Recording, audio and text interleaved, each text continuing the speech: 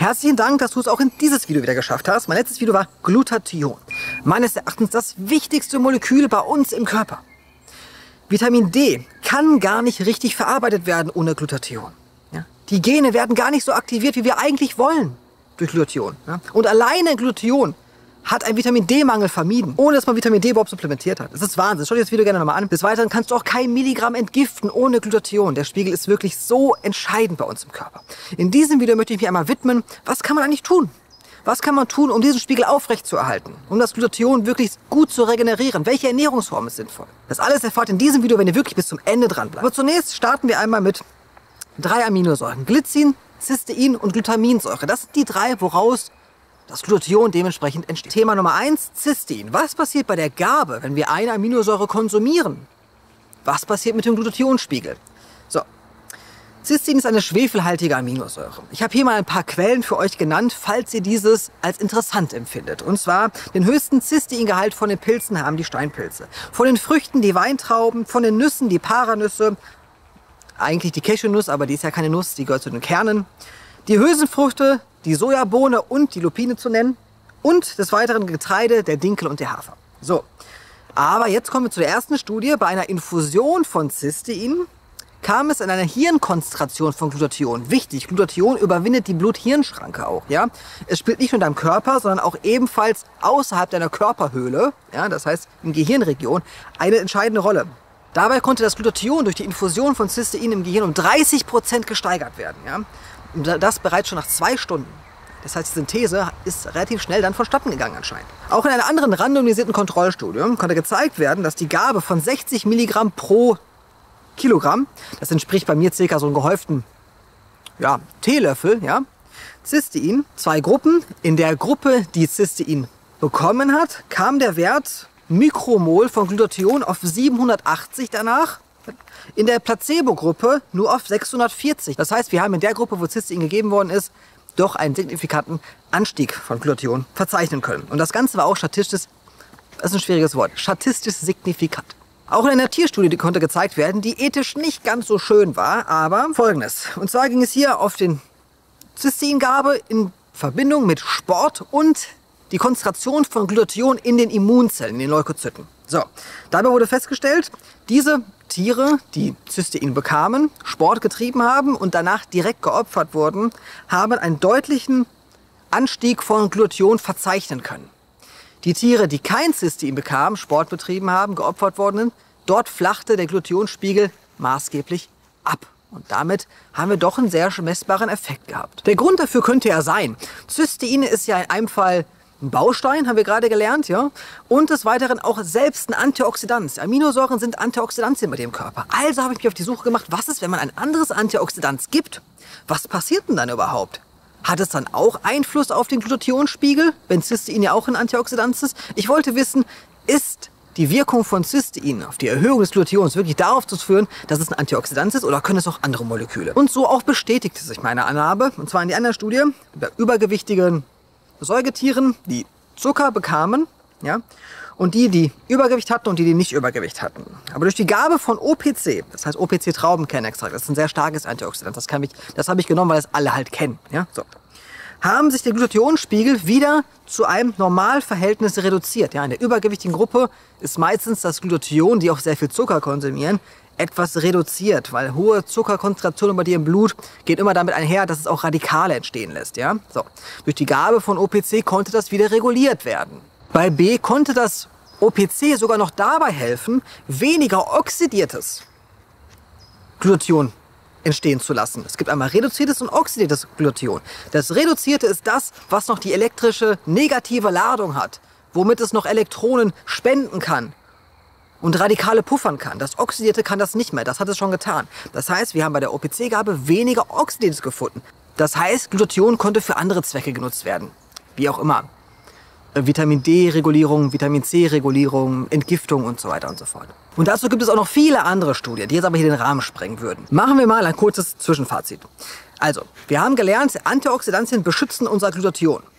Das kann das Cystein machen, können aber auch andere Moleküle machen. Das heißt, das ist nicht die Hauptaufgabe des Cysteins. Wichtig ist jetzt zu klären, ist es jetzt wirklich die Aminosäure, die die Synthese anregt? Und dazu habe ich jetzt weiter recherchiert. Was ist, wenn man mehr Protein zu sich führt, bildet man auch mehr Glutathion? Das prüfen wir jetzt. Als allererstes gibt es natürlich Korrelation. Je älter man wird, desto mehr nimmt der Glutathionsspiegel auch ab. Das hat verschiedene Gründe. Aber ein Grund kann natürlich auch sein, dass im Alter immer weniger, bzw. immer schwächere Magensäuren entstehen und dadurch immer weniger Aminosäuren gebildet werden und aufgenommen werden können von deinem Körper. Ja, ich meine, mit gebildet meine ich damit Auftrennung von Proteinen, dabei bilden, entstehen quasi Aminosäuren, die man dann dementsprechend aufnimmt. Man kann keine Proteine aufnehmen, das sollte man nicht, ansonsten entstehen Autoimmunkrankheiten, ja, durch unlässigen Darm. Man will Aminosäuren aufnehmen. Das heißt, das ist ein Faktor. Zweitens, wenn du Tabletten nimmst gegen Sodbrennen, ja, dann kann es auch einhergehen mit Aminosäurenmängeln. Oder allgemein andere Medikamente nehmen, die Einfluss haben. Ja? Oder Magengeschwüre, alle Sachen. Das mal vorweg. Oder auch einfach Mängel in verschiedenen Bereichen, zum Beispiel Chlorid. Ja, dann kannst du halt einfach keine Magensäure mehr bilden. Aber das ist sehr unwahrscheinlich, denn viele Menschen konsumieren sehr viel Salz. Und Salz ist Natriumchlorid. Es gibt ein paar angelegte Studien zu diesem Thema. Und zwar hier sehr interessant. Und zwar gab es hier Protein, Whey-Protein. Whey-Protein ist übrigens ein Abfallprodukt der Käseherstellung, so würde ich es einmal mal betiteln, hat aber einen sehr hohen Proteinanteil. 15, 30 und 45 Gramm am Tag wurden verzehrt mit erstaunlichen Ergebnissen. Die, die am meisten Protein verzehrten, das heißt 45 Gramm Whey-Protein extra hatten, hatten noch 24 Prozent mehr Glutathion in ihren Immunzellen. Heißt das jetzt, wir sollen alle Whey-Protein essen? Nein, bitte bis zum Ende dranbleiben. So ähnlich gab es auch eine Studie 2018 mit Krebspatienten, doppelblind Placebo. Chemotherapie bekamen sie ebenfalls. Sie bekamen 40 Gramm Whey, Zink und Selen. Und dabei kam heraus, konnte gezeigt werden, dass die Placebo-Gruppe, wie in meinem letzten Video schon gezeigt habe, immer weniger Glutathion hatten. Das ist ein sehr wichtiger Fakt, was sich hier wieder deckt mit meinem zuvorigen Video, weil Krebs lässt Peroxide entstehen. Das heißt Moleküle mit radikalischem Charakter. Peroxide sind in dem Fall keine richtigen Radikale, weil sie keine Elektronenmangelverbindungen sind. Egal, auf jeden Fall ist es halt eben so, dass Krebs Peroxide entstehen lässt, die gepuffert werden müssen. Durch was? Durch Glutathion, genau genommen Glutathion, Peroxide also. Deshalb sinkt das Glutathion auch dementsprechend ab. Ja? So, es konnte gezeigt werden, in der Placebo-Gruppe kam es zu einer 9,6% Senkung des Glutathions nach 12 Wochen. Und in der Gruppe, die dementsprechend dieses Whey-Protein konsumierten, Zink und Selen, 40 Gramm, kam es zu einer 11,7% Steigerung des Glutathions. Das heißt, wir haben hier eine Differenz von über 20, ja, die die Protein, eine größere Proteinmahlzeit von Whey konsumiert haben und die, die nicht. Natürlich wissen wir nicht, inwieweit das Zink und Selen noch hier eine Rolle gespielt haben. Ja. Zum Beispiel auch Enzyme, zum Beispiel auch die Peroxidase, die selenabhängig ist zum Beispiel auch. Ja. Das kann natürlich auch noch mit reinspielen. Aber das würde jetzt alles hier wieder den Rahmen sprengen. Ja. Müssen wir jetzt alle Whey-Protein trinken? Immer noch nicht. Kläre ich jetzt gleich.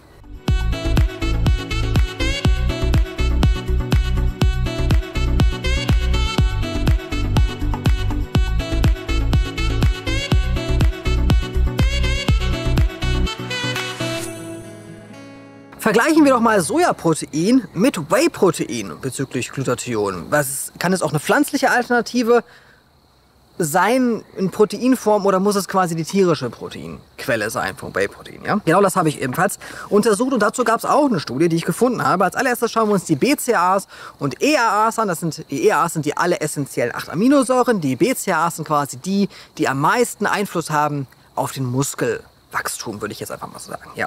Brain-Chain Amino Acids. Dazu gehören Valin, Isoleucin und Leucin. So, diese steigern sich merklich höher beim Whey-Protein in der Blutkonzentration, dementsprechend im Vergleich zu Sojaprotein. Ja? So. Doch wie sieht es mit dem Cystin aus, was ja anscheinend positive Einflüsse hatte? Und da sehen wir hier, dass die Synthese ja, nicht sehr unterschiedlich scheint oder der Gehalt von Cystein durch die Gabe von Sojaprotein oder von Whey-Protein. Jetzt kommt aber das Wichtige. Wie sieht's aus mit dem Glutathion? Und zwar, hier sehen wir rechts einmal das reduzierte Glutathion. Das ist das Entscheidende. Das ist das, was wir haben wollen. Das ist das aktive Glutathion. Und links sehen wir das allgemeine Glutathion. Da ist auch das oxidierte mit drinne, was ja in dem Fall wenig Wirkung erstmal für uns hat, ja. So, hier sehen wir zum Beispiel. Oh, hier ist gerade ein, eine. Äh, alles gut, ich warte ein bisschen. nee, nee, ich warte, alles gut. Entschuldigung, ich wurde unterbrochen von einer Mutter mit ihrem Kind, die mir zuhören wollte, aber ich habe mich geschämt. Auf jeden Fall sehen wir leider, dass Whey-Protein, nur Whey-Protein, eine statistisch signifikante Erhöhung von Glutathion verzeichnen ließ und nicht das Sojaprotein. Heißt das jetzt aber immer noch, dass wir auf jeden Fall Whey-Protein verzehren müssen? Nein, keine Panik. Und zwar schauen wir uns einfach mal die Aminosäurenmenge an, die wir uns auch einverleiben können durch 100 Gramm Linsen und die durch 40 Gramm Whey-Protein. Dann sehen wir, dass wir da gut wegkommen, wenn wir Hülsenfrüchte in etwas höherer Menge auf einmal konsumieren. Was ist mein Fazit? Gibt es einen Proteinmangel?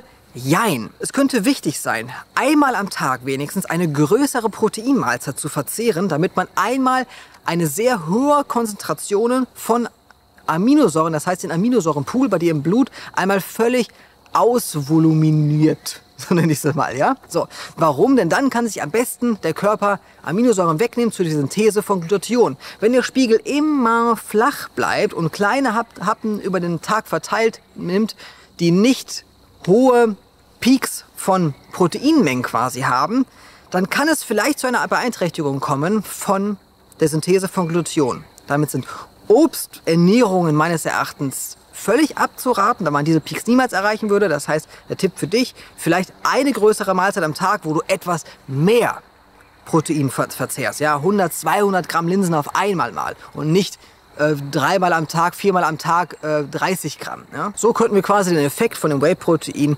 ziemlich gut negieren. Als Beispiel wäre dann zu nennen Hülsenfrüchte mit Gemüse. Warum Gemüse? Hat ebenfalls antioxidative Wirkung, beschützt das Glutathion, die Proteine werden geliefert durch die Hülsenfrüchte. Das ist für mich eine perfekte Mahlzeit. Ich würde ebenfalls empfehlen, die Hülsenfrüchte zu keimen, dann enthalten sie schon Aminosäuren. Ja, ganz, ganz wichtig und noch viel leichter. Das heißt, der Aminosäuren, die Aminosäurekonzentration in deinem Blut steigt doch viel, viel schneller, wenn es gekeimt ist. Übrigens auch unsere Mahlzeitenersatzprodukte und unsere Müslis sind in gekeimter Form. Ja, enthalten ebenfalls auch Leinsamen gekeimt, Buchweizen gekeimt, alles glutenfrei. Könnt ihr gerne mal vorbeischauen bei uns im Shop und mich halt unterstützen, wenn du meine Arbeit wirklich als gut empfindest. Ja, Dankeschön dafür.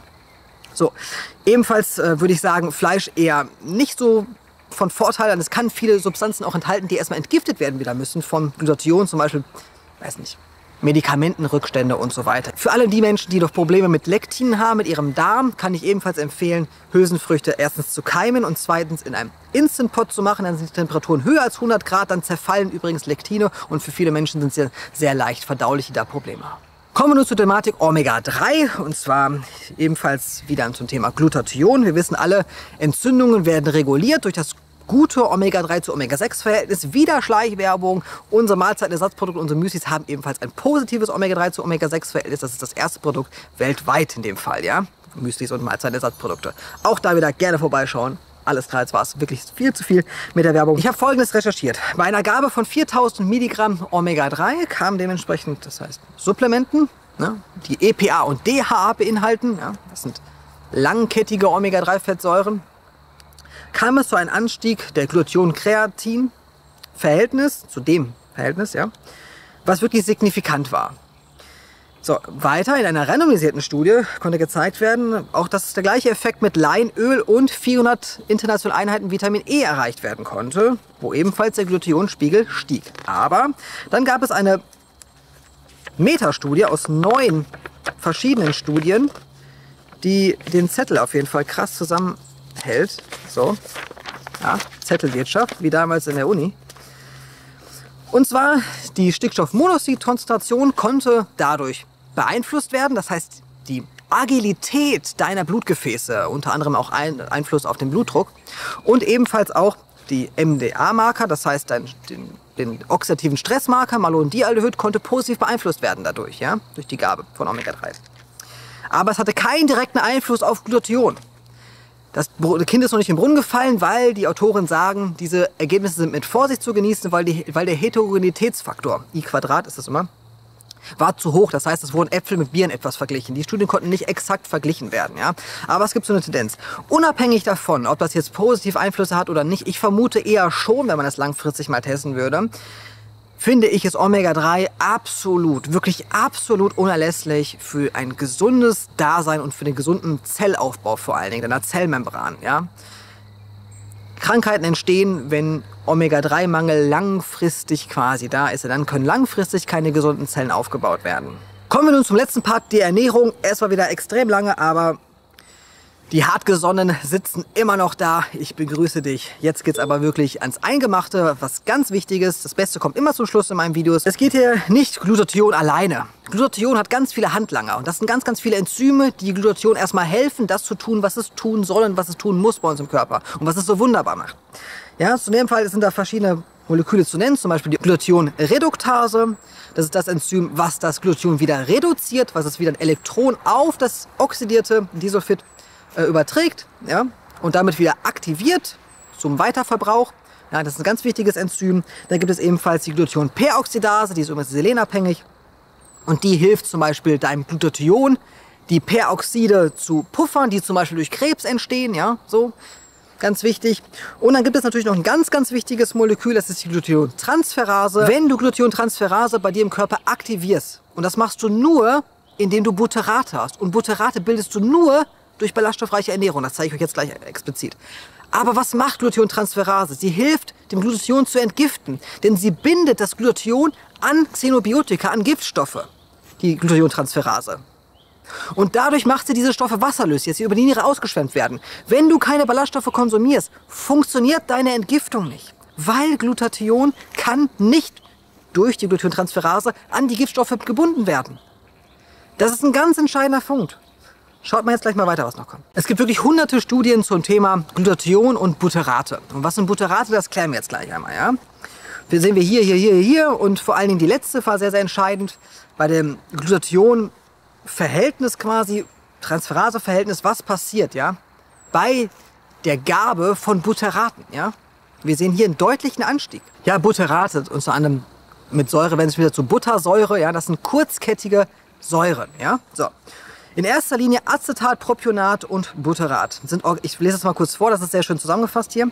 Organische Säuren, die im Darmlumen durch bakterielle Fermentation von hauptsächlich unverdauten Nahrungskohlenhydraten, insbesondere resistenter Stärke und Ballaststoffen und in geringen Maßen von Nahrungs- und körpereigenen Proteinen quasi hergestellt werden. Dadurch werden sie hergestellt, die Butterate. Die meisten Mikroorganismen ziehen es vor, Kohlenhydrate gegenüber Proteinen zu fermentieren. Damit ist quasi, wie soll man sagen, ich, ich, ich widerlege quasi gerade hier die, die, die Low-Carb-Ernährung, die fleischbasierte Ernährung, ja, diese Ernährung, ja, damit. Weil die Mikroorganismen ziehen Kohlenhydrate vor, ja, zu fermentieren. Man kann auch eine fleischbasierte Ernährung machen, da muss man aber noch darauf achten, dass man trotzdem noch genug Ballaststoffe hat, ansonsten wird man seine ganze Darmflora in dem Fall habe ich auch Videos dazu gemacht, würde ich auch in den Namen springen. Es wurde geschätzt, dass die kurzkettigen Fettsäuren zu 60 bis 70 Prozent des Energiebedarfs der Kolonepithelzellen, das heißt deiner Darmzellen, und 5 bis 15 Prozent des gesamten Kalorienbedarfs des Menschen beträgt. Das musst du dir einfach mal vorstellen. Diese Butterate, die aus Ballaststoffen entstehen, aus pflanzlicher Nahrung, tierische Lebensmittel haben keine Ballaststoffe, sind wichtig, damit du 5 bis 15 Prozent mehr Energie leisten kannst körpereigene und dass 70 Prozent deiner Darmbakterien funktionieren. Das muss ich mal vorstellen. Und jetzt wird's ganz dick. Das Beste kommt immer zum Schluss. Dabei liegen im molaren Anteil für Acetat, Propionat und Butterat das Verhältnis zu 60, 25, 10. Das heißt 60 Acetat, 25 Propionat und 10 Butterat im Durchschnitt. Dieses Verhältnis ist jedoch stark von der Menge und der Art der verfügbaren Substrate abhängig. Bei ballaststoffarmer Ernährung verschiebt sich das Quotienten zugunsten von Acetat. Während bei hoher Ballaststoffaufnahme, insbesondere von butyrogenen Substanzen, sich der Butyratanteil erhöht. Das heißt, viele Ballaststoffe, viel Butyrat, wenig Ballaststoffe, Propionat äh, und Acetat. Und jetzt, was das heißt, jetzt pass mal auf. Neben den Wirkungen auf Elektrolyt- und Wasserhaushalt stellen die kurzkettigen Fettsäuren die wichtigste Energiequelle des Darmepithels dar. Bevorzugtes Substrat ist Butterat. Bevorzugtes Substrat ist Butterat. Ich wiederhole. Das Substrat, was aus Ballaststoffen entsteht.